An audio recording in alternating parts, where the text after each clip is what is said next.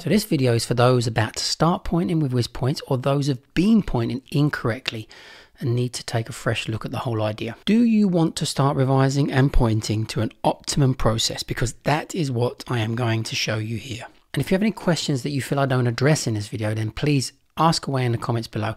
I promise you I will know the answer. Question. What is a sticky point? It's any point that you struggle to answer or can't remember the answer to. But once you've been told or seen the answer, you realize you do actually know it. That's a sticky point. It doesn't need to be visited, it needs to be revised. Question.